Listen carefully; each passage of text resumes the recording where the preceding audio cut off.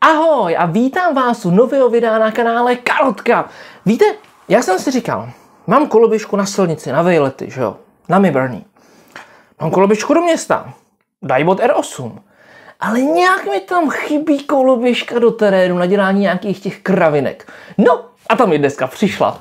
Pojďme se na ní mrknout.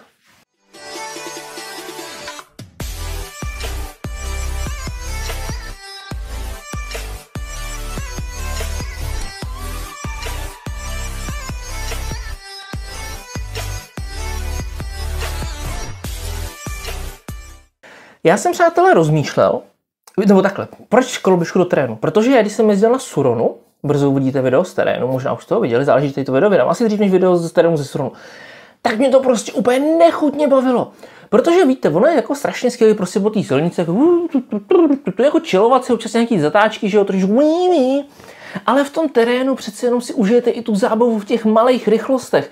Když se hrabete na nějaký kopec, lítá bahno, lítá listí, lítají houby, lítají veverky, prostě je to hrozná prča. A říkal jsem si, no dobrý, ale Luky, ty vole, budeš táta, nemůžeš si koupit motorku za 110 nebo 120 nebo kolik 100 tisíc, prostě to nejde. Tak si říkám, dobře, tak se podívám na Banggood, na AliExpress, jestli nejste nějaká jako levnější verze, něco slabšího, levnějšího, že jo, co si doma přitáhnu, namažu, pak tomu padne kolo, něco takového. Nic takového neexistuje. Tak jsem si říkal, no, tak si koupím offroadovou koloběžku. A tak jsem přemýšlel, tak když pominu Hugo Bike, který stojí stejně jak ta motorka, tak jedna z nejlepších offroadových koloběžek byl Volvarior a potom Bojeda. Tak jsem si říkal, no, tak Wolf stojí 70-80, to je prostě strašně moc peněz. Tak co Bojedu, že bych si zase znovu koupil Bojedu. Bojeda není, nebyla na skladě žádným evropským a nebylo tam ani žádná jiná koloběžka a napadlo mě, že Banggood měl za velice dobrý peníze v evropském skladu Laotie TI-30. Což je v podstatě, když si vezmete bojedu a dáte do, napícháte jí pár steroidů. O 10 Ah větší baterka, blinkry, a to je tak nějak asi jako všechno, řekněme v tom základu. Kolběžka vypadá skoro stejně.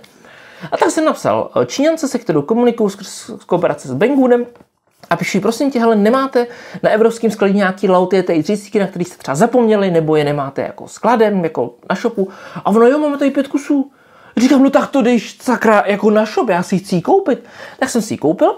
Z polského skladu mi ta koloběžka přišla opravdu velmi rychle, ale české UPS ji doručilo až o týden později. Ona mi byla, měla být doručena minulý týden ve čtvrtek, Přišla mi dneska čtvrtek 29. říkám to správně. Ano, 29. ve čtvrtek září. A nevím, proč UPS, oni měli asi nějaký problém, že to je prostě moc velký. Tady u nás to depo je velký vlastně jako stavební buňka. No, dost keců o UPSku. Jinak ale musím pochválit UPS, že za naprosto úžasný přístup a to je super. Tahle koloběžka v tuhle chvíli se nedá poslat, není skladem v evropském skladu, a nedá se poslat z Číny. Oni mají trošičku trable s tou vlakovou dopravou. Ale ve chvíli, kdy to půjde, tak budete mít dole připravený odkaz a budu se snažit vám tam vždycky hodit nějaký aktuální kupon na tu koloběžku. V tuhle tu chvíli, kdyby to šlo, tak ta koloběžka stojí 31 042 korun, má pět hvězdiček z pěti na Bangoodu a parametry. 60V systém, 38,4 Ah baterka z článku 21700, což jsou větší články, kvalitnější články, většinou teda novější, nová generace článků. Výkon v, ve špičce je 5600 W, takže akorát do terénu, maximální rychlost prý 85 za hodinu. No a potom jako nějaký takový ty kruto přísný hustáry tady prostě píšou, jo. E, co mě na tom zajímalo, tak mám pocit, že ta kolbiška má i jakože takový ten alarm, jo, takže hustý vypadá to prostě jako bojeda. Tak tady ta koloběžka by měla být dobrá, ale měly by tam být teoreticky dva problémy. Problém číslo jedna je ten, že tato koloběžka v některých kusech má, to je zajímavé, že ta izolepa je už přetržená, ale je to zacvakaný tady těma kovovými blbostma, jo. V některých kusech tato koloběžka má problém s tím, že má extrémně tvrdé přední pružení, což je potom v terénu samozřejmě úplně, ale úplně na hovno. A druhý problém bývá ten, že trpí na wobbling, pokud člověk špatně stojí při vyšších rychlostech. Já jsem si ji koupil do terénu, takže mi vlastně úplně jedno, jak jezdí rychle po silnici. Tak, přátelé, helejme se, krabice v krabici. Mně se líbí, jak, jak dávají krabici do krabice, aby prostě to bylo ještě těžší. Jako? Přiznám se, přátelé, že moc jako nevím, jak se tady... Ty to je hezky zabolený. Offroadový gumy. To jsem přesně chtěl, aby to bylo hodně offroadový. Uh, je hezky zabalená, vypadá to, že asi bude v celku. Řídítka teda ještě nevidím úplně celá. Ale vám to ukážu aspoň, jak to tam vypadá v bedně. No, jako takhle to vypadá spíše hromada elektroodpadu, ale myslím si, že to bude jako úplně v pohodě. Tak. Jsem fakt jako zvědavý na to pružení. Mimochodem, psal mi jeden člověk, který ho právě taky trápilo tvrdý pružení na Laotie TI30. A psal mi, že jde o to, že ta přední vidlice je moc do Včka. A on tam dal ke kolu podložku, že se trošku narovnalo a začalo mu to pružit. Jinak koloběžka samotná váží nějakých 47 kg, takže je to trošičku cvalda. Konstrukčně teda takovou koloběžku už znáte, je to vlastně velice podobné jako Bojeda či ELS Moto Q12, co jsem tady měl. Sympatické na ní je i to, že skládací mechanismus, kola koukám pětě nafoukaná, skládací mechanismus eh, by měl držet tu koloběžku složenou, takže bych ji teď měl bez problémů vytáhnout ven. Tak pojď mazle. Ty si děláš srandu. Ty vole. Tak to je brutál.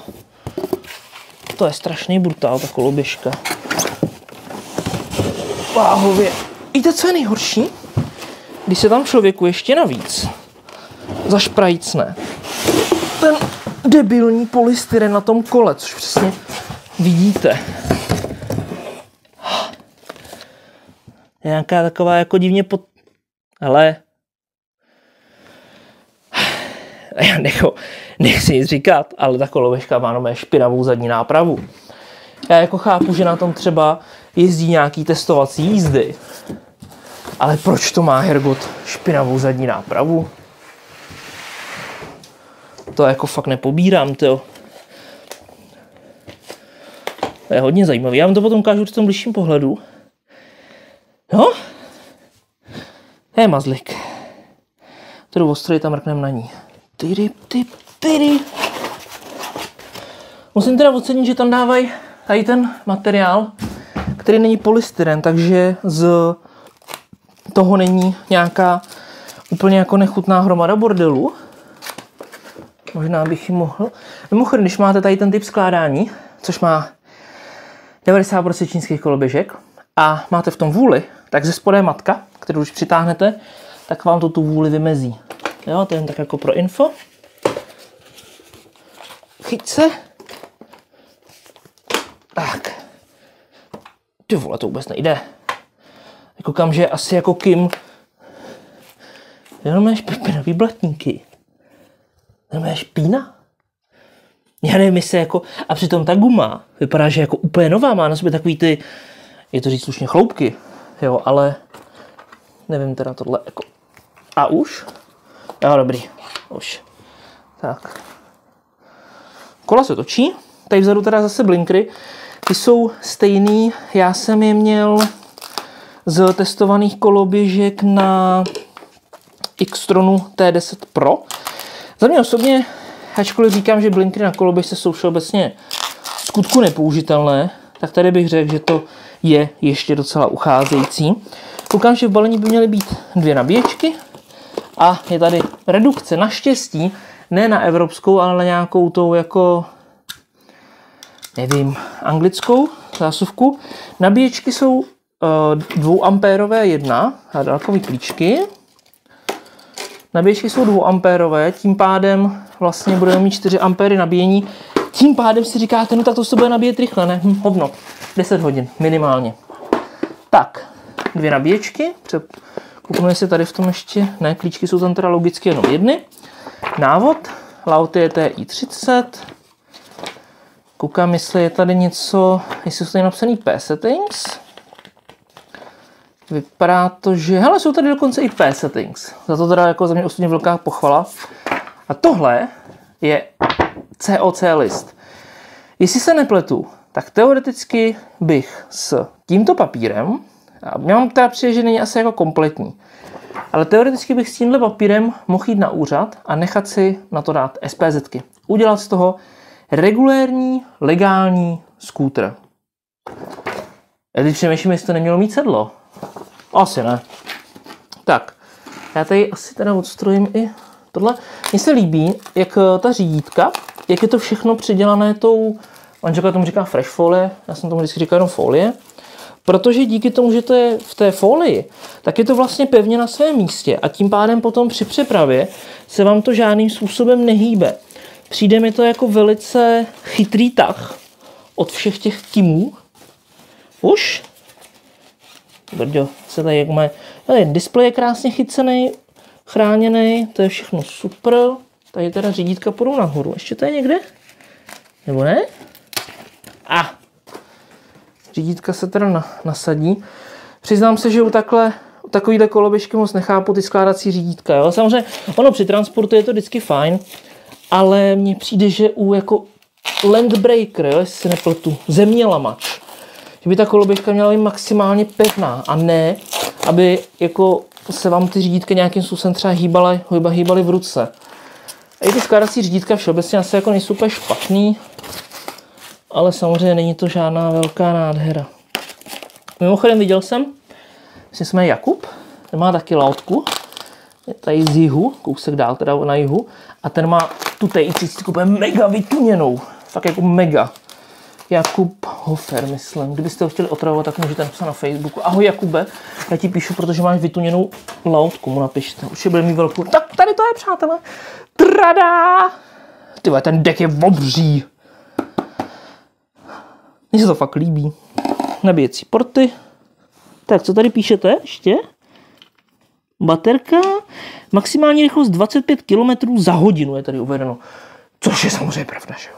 Mimochodem, ještě jedna věc, pár lidí řeší nově u bojedy, že jim nejede víc jak 25. Tak tady vzadu, v tom místě, je vlastně takovýhle zhluk kabelu a v něm je ukrytý žlutý kabel, který je potřeba uh, přeštípnout nebo rozpojit a tím zrušíte omezovač.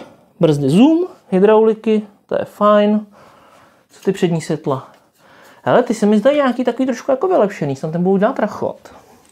Jo, aha, je to úplně utažený, ale zkusíme. Jo, vidíte tu vůli? Tak to je právě ta matice ze spoda. Ta se utáhne a bude to bez vůle. Jo, to samozřejmě ta kolbiška není vůbec montovaná, já to jdu smontovat a pak vám ji ukážu. No a tady je ta moje nová nádhera. Tady trošičku bordel z toho rozbalování. Řídítka, no, nejlevnější gripy. A to nastartuju.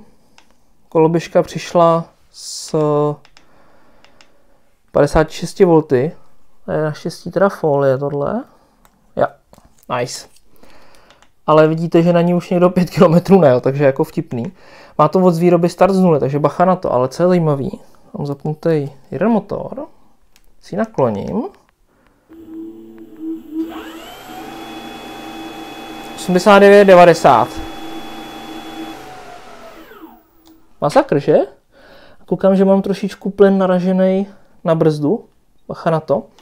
Potom se vám bude špatně vracet plyn, takže určitě si to malinko dejte výše, ať se to nedotýká. Kdybyste si ji taky koupili. Tak, přepínače samozřejmě archaický osvětlení. To je docela pěkný. To je prasklina. Asi. Přední. Takhle s Angel Eyes červenýma. Zadek svítí takhle. Při zabrždění se rozsvítí další. A z boku samozřejmě taková diskotéka. A co vypadá velmi slušně, jsou ty blinkry. Ty budou podle mě jako fakticky hezky, hezky vidět. Troubítko je z motorky, to nebudu moc riskovat tady, abych vám tady dělal takovouhle show. Brzdy teda hydrauliky zoom, řídítka jsou skládací. Koukám, že světla fungují, i když je koloběžka vypnutá. Tak. A dají se hezky sklopit dolů. Myslím si, že do auta je to určitě příjemný. Jo, že pak člověk má tu koloběžku menší. Vidím, že z výroby je to částečně namazané vazelínou, to je určitě super. Díky tomu je potom menší šance, že to bude vrzat a tohle je samozřejmě potom kritické místo právě z důvodu toho vrzání, takže tohle určitě bude chtít pravidelně promazávat a případně ty řídka mě za nějaká jiná. Je nutné si uvědomit, že když dáte nižší, tak je máte, teda širší nebo jiný, tak je máte samozřejmě o ten kus menší. Procházel jsem šrouby, tyhle jsou v pohodě, které nebyly úplně v pohodě, jsou jako ty, co drží tady vlastně celou tu nápravu. To bylo jako hodně špatný, takže na to velkýho bacha. A chci vám něco ukázat. Sledujte. Je to úplně nádherně měkoučký to pružení. To je úplná bomba. Já se na to hrozně těším. No, tady musím ze spoda utáhnout to batko, tam se mi to vyklá. V deku by mělo být všechno udělané dobře, takže tam jako nemám úplně nutkání lézt. Navíc by měl být přilepený silikonem. Když tam šahám takhle ze spoda, tak je tam cítit, že tam je uh, kousek silikonu. Je silikon i na přívodu kabelu, nějaký podél z krabice, tady jsou všude silikony, tady je taky silikon, ta koloběžka všeobecně zdá se být velice dobře utěsněná. Tohle je teda hnusný, tady jako ten šmirgl, ten asi jako potom moje uříznu, ten se mi vůbec nelíbí takhle. Opěrka pro nohu je taková, že jako asi budu šlapat na ty blinkry, asi je brzo urvu. A tady vlastně vidíte, jak je to jako zabahněný, jo. To je prostě vtipný. Jako, je vožvejkaná matka. No, hele, co bychom chtěli, jako je to koloběžka s parametrama za 70, 80 a stojí 30 v Číně, že jo, takže plus se mi teda jako extrémně fakt nelíbí ta nožička, ale asi dejme tomu nožička je potřeba, no. Moc se mi nelíbí tady ty kryty, byl bych radši, kdyby tam byly nějaký klasický jako prachovky, ale to se asi nedá jako nic dělat, nechám to tam. Někdo dělá, že vlastně obalí zadní tlumič v fresh folly. Já nevím, jestli se mi to chce dělat, mě to přijde takový potom jako hnusný. No, uvidíme. Ale vzhledem k tomu, že už s tím někdo jel a pěkně to zasvinil, tak mi to přijde skoro ještě jako zbytečný to obalovat něčím. Má to být do terénu, tak bude dostávat trošičku na prdel. No a já se strašně těším, že i již brzy se na ní společně projedeme. Jinak, eh, řízení jde dost volna. To není úplně ideální, jako chtěl by to asi tlumit řízení. Uh, obzvláště do toho terénu uvidím, no, jak, jak s tím budu v pohodě za jízdy. Jinak řídítka překvapivě, ačkoliv jsou skládací a jsou vysunovací, tak jako celek působí velice pevně. Když takhle vytočím a chci ještě víc, tak jako vůle tam žádná není, což je super. Toho jsem se trošičku bál. Myslím si, že to bude docela nadíná mašina. No, Pojďte mi do komentáře, co říkáte na moji novou hračku do terénu. Těšte se na další video, mějte se strašně krásně. Čau.